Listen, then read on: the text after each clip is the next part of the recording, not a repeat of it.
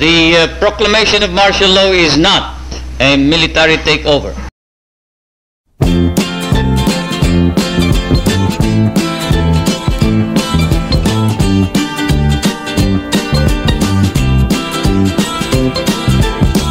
I'm coming home.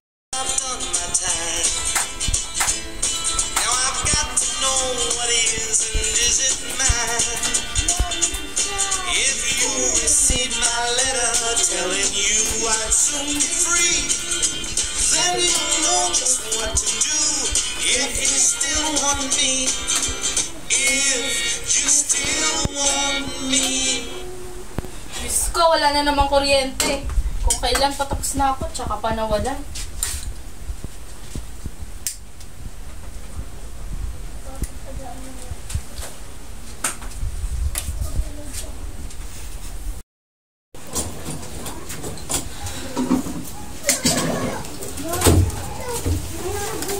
Anong oras na naman ang uwi mo? Uwi pa ba yan ng estudyante? Naku anak, delikado ang panahon ngayon. Nagkalat sa kalye ang mga pulis. Hmm, miss na naman ako ng nanay ko.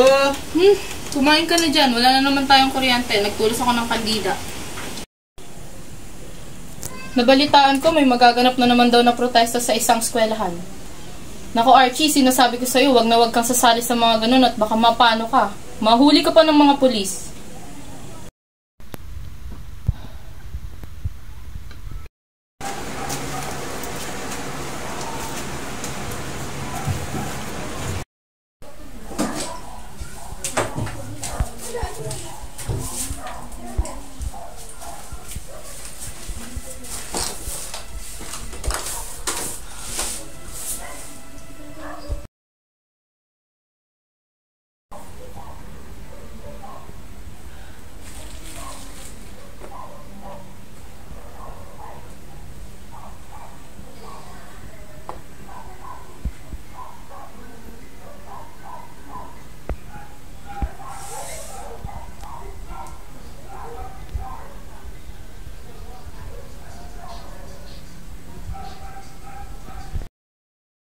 Today I fought not just for me, but for death and left behind.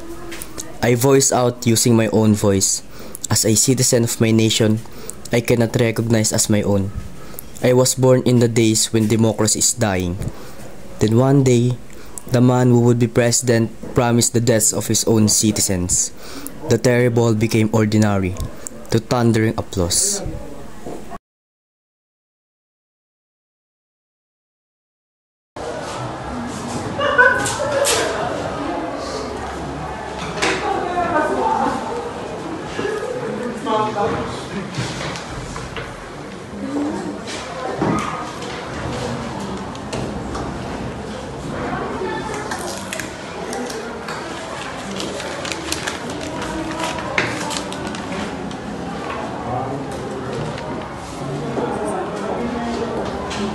So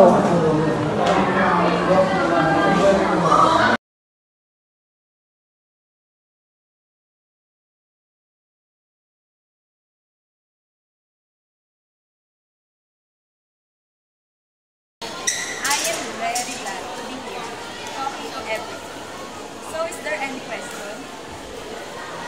Yes?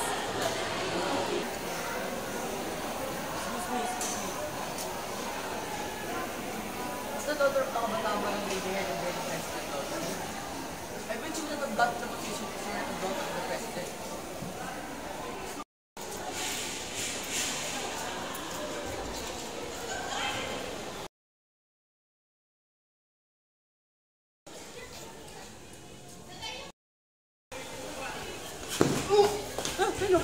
Tata, ale jak mówię,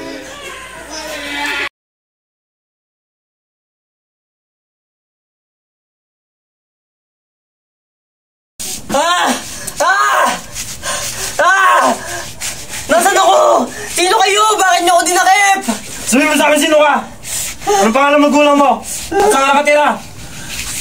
Ano? Hindi ka ba sasagot?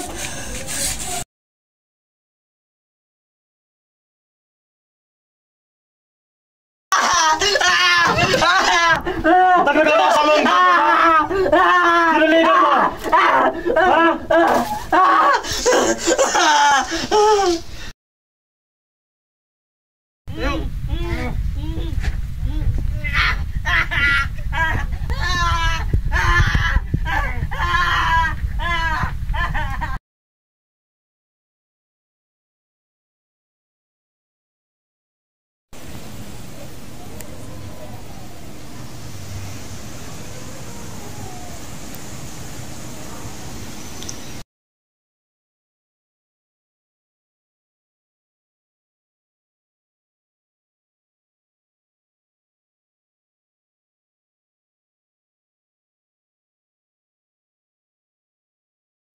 Isang nakakabahalang pangyayari ang nagbigay takot sa ating komunidad. Isang duguan at nakahundusay na binata ang natagpuan sa kalye. Ayon sa pulis, nasangkot ang binata sa isang dormitory riot.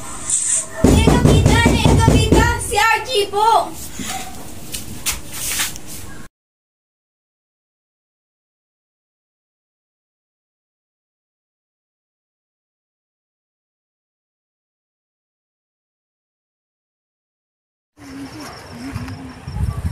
Tignan nyo, ano kaya nangyari sa kanya? Patay na naman. Bagong biktima na naman.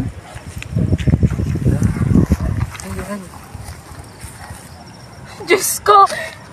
Ang anak ko! Bakit kami ng anak ko? Ah! Anak! Ah! Anak ko!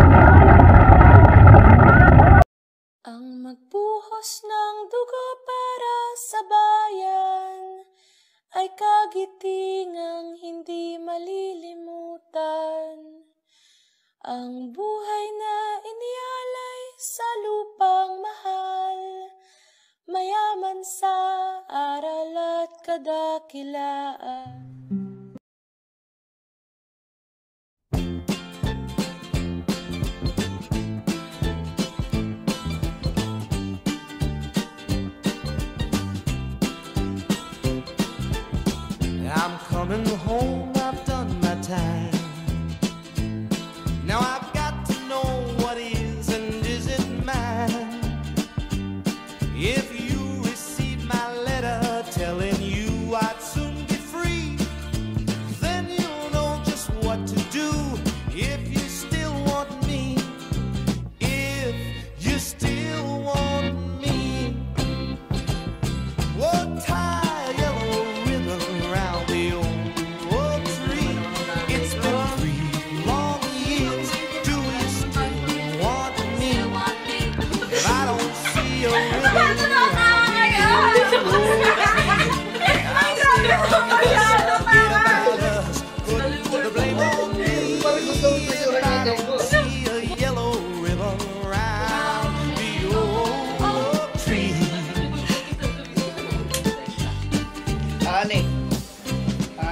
Bus driver, please look for me.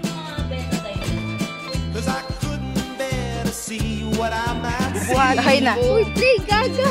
I'm really still in prison my love Nasaan ako? Sino kayo? Bakit ako? Sino ka?